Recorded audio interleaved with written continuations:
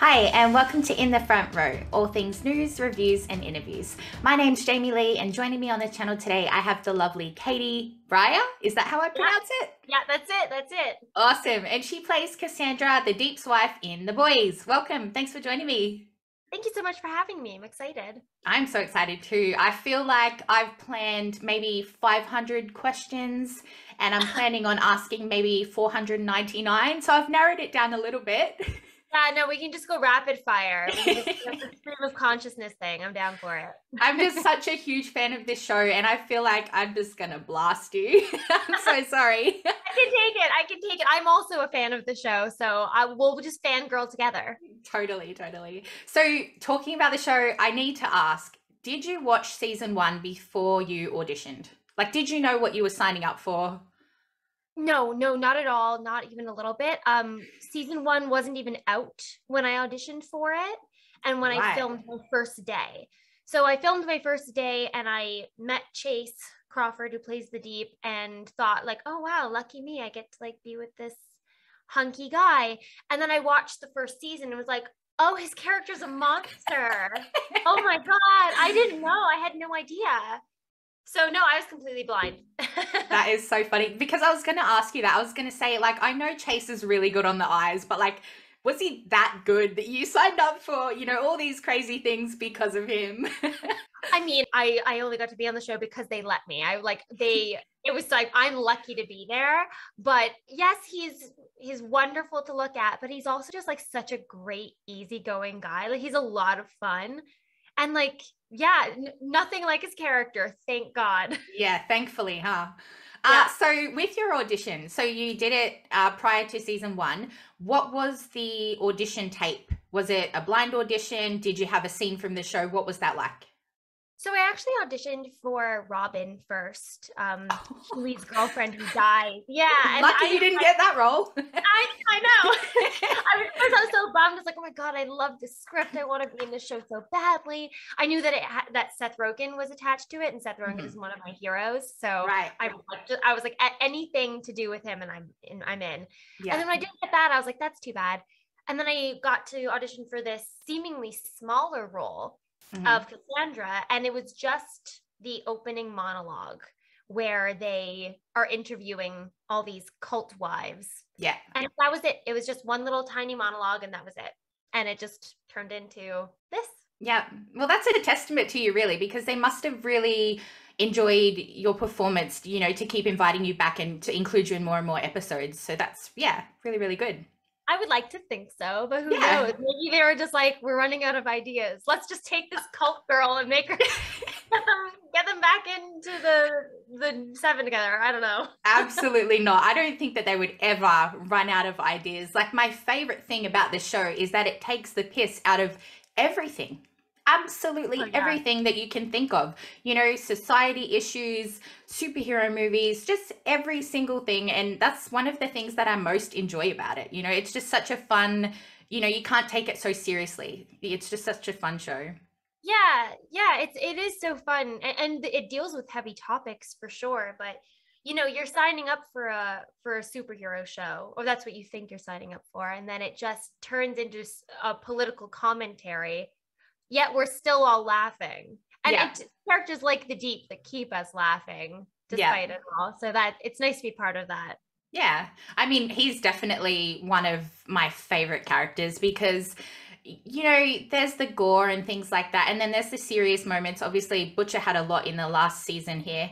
But yeah, th- there's always got to be somebody that is funny. And I just find the deep or Chace, maybe it is Chace, I'm not too sure. But I just find the things that he does so funny. Like it's not even the lines sometimes, it's just the, his expressions or his yeah, look towards you or Homelander and I just crack it. It's just so good. It is so funny. I I'm going to give the credit to Chace for sure because he takes it so seriously and he has he loves comedy and you can tell cuz he he really works at it. He's always improving but it's also just he's so sincere and you almost almost feel bad for him at times. You're like oh he's so dumb this week he's a monster. Yeah yeah for sure. So how like obviously there's lots of funny moments. You work with one of the funniest ones. So how do you contain yourself? How do you like snap back into okay, we've got to get, you know, get focused here and get back on track? Because it would be very difficult to stay on track.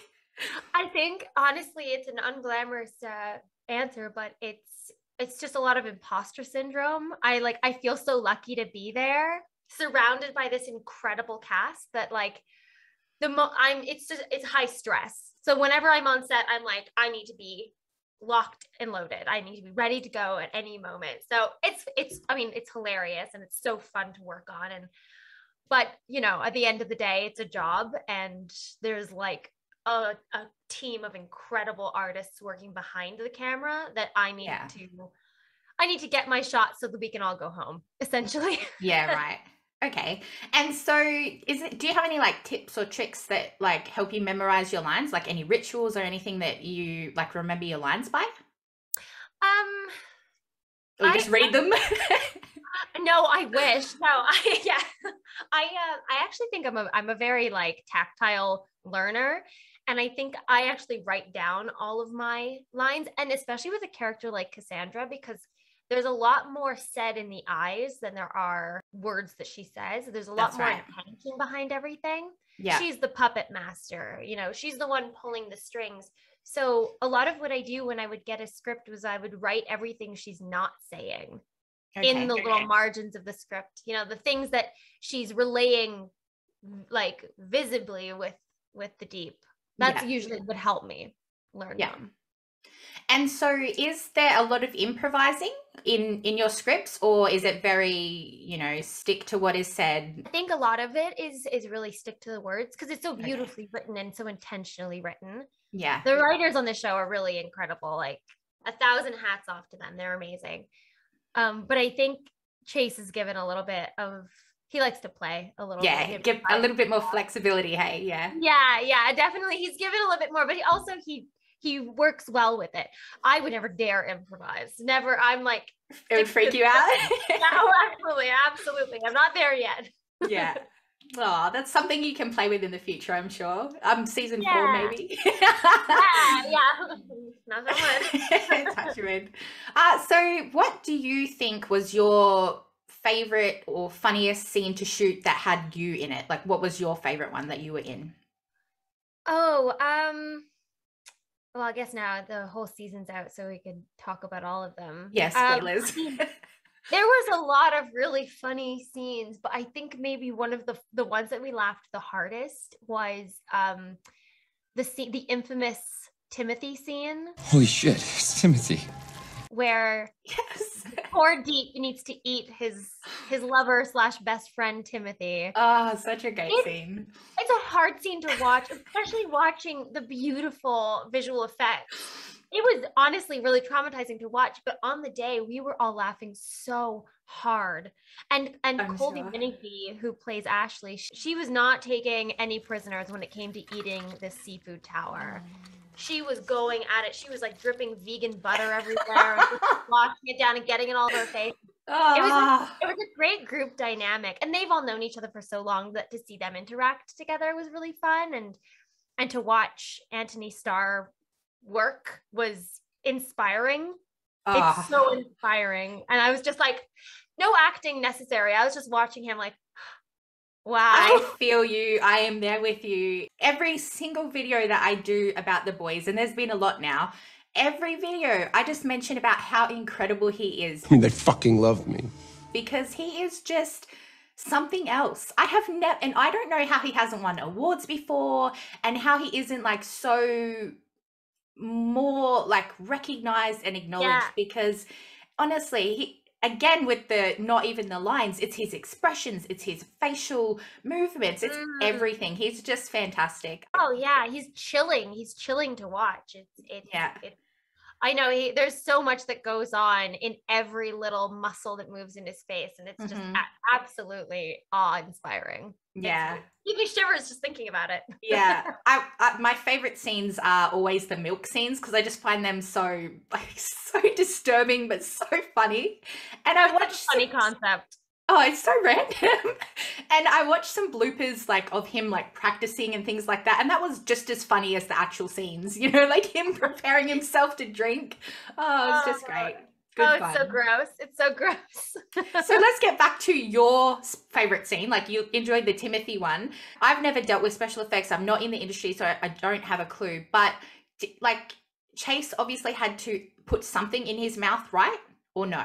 Yeah, yeah. They had um the again an amazing team that works on the show. They actually created little mochi um octopus little like tentacles okay. that he would kind of eat. But then the, the the really disgusting part was this little like pouch filled with like a black maple syrup jello type concoction yes. that he had to put in his mouth and bite down on so we can get the ink the ink explosion yes that was so affecting and uh so yeah that was probably the most um ugh, god just i mean it was hilarious. Poor chace. We all felt so bad for him. But yeah they so they a lot went into it. There was many different and they, they even at one point i think like put tape on his face and then like a puppeteer would be underneath the table pulling on his face as if tentacles were pushing and pulling on his face. A lot wow.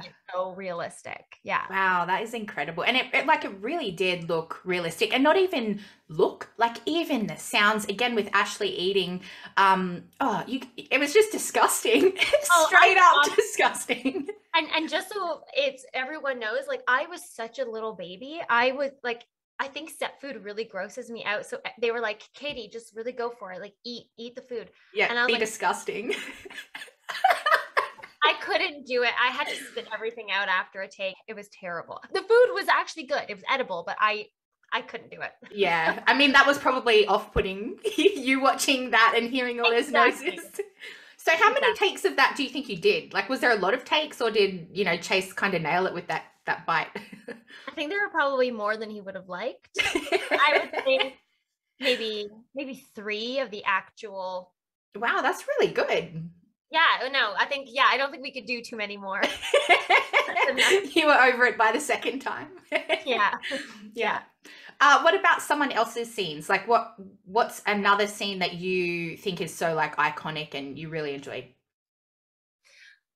Um oh god uh, there's so, there's so, so many, i gotta say i loved uh kimiko and frenchie's dance performance their musical performance but i i will say one of my absolute favorites um was in the last episode mm-hmm. kimiko puts on earphones when she's got when she's ready to kick some ass yeah yeah.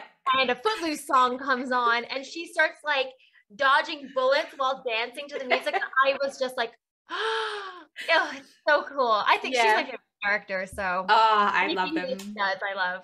Yeah, she's so good. Um, and Frenchie, Frenchie's one of my favorite ones. He just has the best lines. Oh, they're so funny. Yeah. Oh yeah, yeah, they're so funny. They're really, they're really so funny.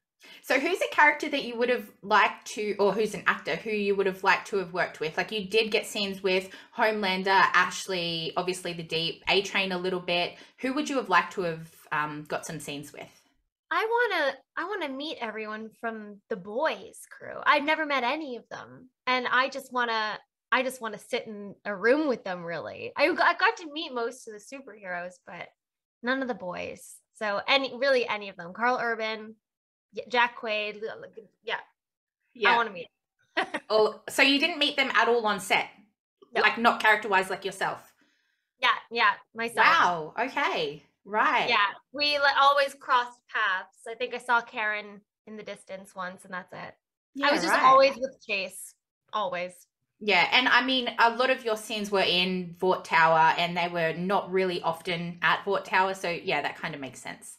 Yeah, yeah, yeah. So if you were to like you were forced or you maybe weren't so forced, uh the deep was forced to marry you. Uh yeah. if you had a choice, which soup would you want to marry? A train. A train? A train. Just because what? Cassandra, A train. Hey. Nice to meet you. Nice to meet you too. Go from one idiot to another? I'm just kidding. yes, I think um just because uh Homelander, no. I mean, I guess like Maeve seems like she has a lot of issues. All of them seem pretty bad. I guess Starlight. Starlight was probably the only reasonable one, really. But I just think I just love A Train. I think he seems damaged but sincere. And again, Cassandra seems to have a good time with these like controlling these dumb idiots. So she'd probably really thrive. Yeah, you do really well with A Train.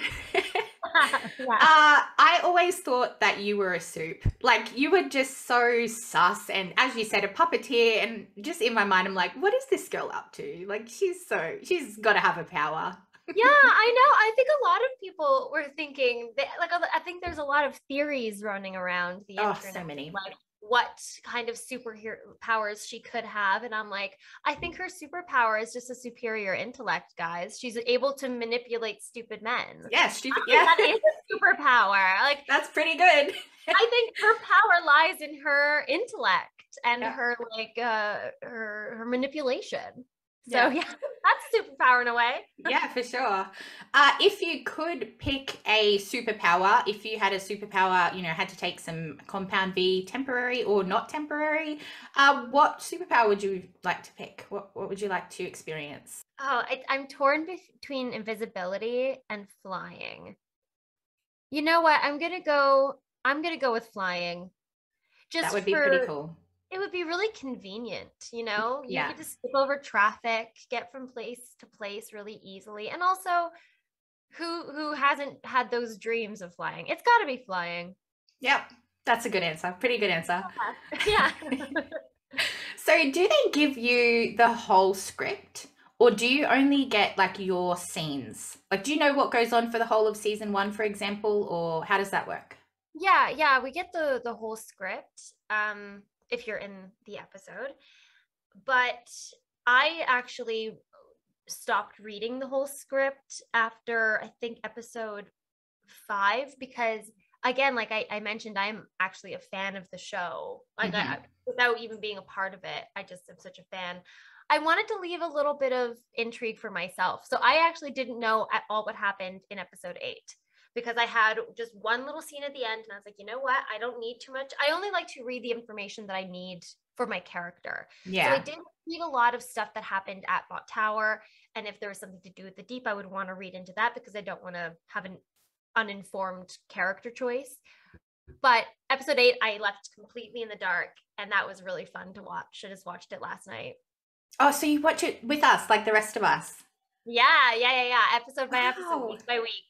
Wow, I thought that you guys would like sit at the end of wrapping the season and you know sit down and watch it as a big group. No. No, no. I think I think the the cast started doing press before they'd seen the whole thing. So yeah. Wow, that is incredible. Experiencing it all for the all together. I mean, maybe just maybe just me, and I'm sure other people get to watch the entire thing, but I don't. yeah, right. That's really interesting. So, is there anything or any one-liners that you like pull into your everyday life from your character or from a different character in the show? Well, while I think about this, I would love to hear what yours is, what yours are. What oh. butcher oh. line do you love? I, I like to use fucking diabolical. like all the time, I say to my husband, like, "Eat this motherfucker." Yeah, yeah, yeah, yeah. Because and like in his tone, you know, like oh, he just he's so fantastic. He just has the greatest lines. Yeah. Yeah, his his swagger. I would like to take a little bit of Butcher swagger with me everywhere I go. That that confidence. Yeah.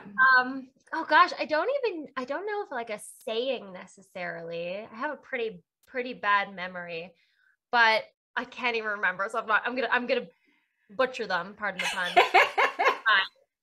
um, but I I like the I the concept that I like to take away is that like is the whole idea of what too much power can do to a person which is a theme throughout you know mm-hmm. the whole crux of the of the show in my yeah. mind like when you have too much power it will ultimately corrupt you and when you watch that happen to butcher and Hughie more Hughie than anything and how it affects his mind when he takes the temp v and how that power gets to him yeah or the power the power dynamics in every relationship in this show like between starlight and Hughie and cassandra and deep you know that's a power dyna- dynamic right there.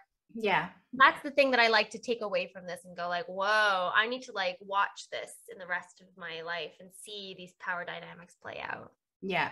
It's it's so true what you say and like a lot of this show as we spoke about a little bit earlier is you know reflected from real life because Mm-hmm. you're talking about the power, but like even the social media side of things. Yes, the way we're being marketed to. I, Yeah. I actually, just- I actually thought of my of Cassandra, my favorite line of Cassandra's. I, ju- Okay. It just popped into my head. There's a point right after when she's leaving. The last line she says to the deep is You're an idiot, Kevin. and I love that line. Yeah. I the moment I read it, I was like, this is so good. It reminds me of in the movie Home Alone, the mom turns to little Kevin and goes, Oh, she just she's always yelling his name. And while I was doing that scene, I couldn't help but like channel my in, inner Catherine O'Hara. Your inner mum. yeah. I loved it. I loved that. I thought it was so funny. Yeah. You absolutely nailed that scene. I don't know how you did it. Honestly, how could you keep a straight face? You want me to fuck a, a, a fucking fish? I don't know. so great. I tried to just take it as seriously as possible, but when you look, when you remove yourself from the situation and look back at what you just did, it's pretty funny. I think at the end of that day, Chace and I were both so hungry. They came around with their like crafty snacks. hmm And I think we both got like two chicken burgers and just like sat there in bathrobes, like just like silently eating chicken burgers. Oh, of I like- love it. What did we just do? Yeah, what is that? Oh, that would have taken a lot of time as well, that scene, because there would have been a lot of obviously visual effects there with that as well, right? Yeah, that that one actually was really yeah, it was I probably equally as um intricate in terms of the visual effects. They did also have fake octopi. Um really heavy ones too. They Right. and they had to like dunk them in water and it was impossible not to laugh when he would reach into the tank and pull Pull it out. Oh, yeah, pull it out. Sorry, got to use the correct pronouns. Use the pronouns when she he'd pull her out and he she would just be dripping onto like that that entire bed by the way was just damp Drenched. they were like spritzing water on it it was actually one of the most uncomfortable days Yeah, uh, right. just because of the physics not because of the content even that was funny and and chace is like such an easy guy to work with Mhm. but it was it was disgusting it was disgusting and and again there was like puppeteers on set they would have they had fake little tentacles and it was very intricate Yeah, for sure. It's one of, again, probably my favorite scenes with you in the deep. I just love when he turns to the octopus and he turns around and he's like, Just feelings.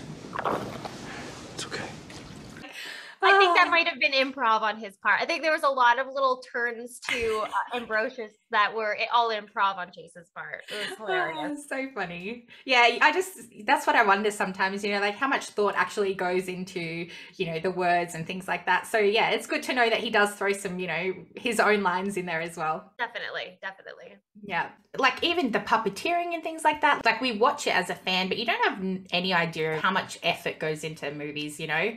I know it's it is like in watching it, I keep on forgetting how much like in the, the, these fight scenes are like everything is just like so detail oriented and they do tiny little movements and then when you see it all put together you're like wow that looks effortless Yeah.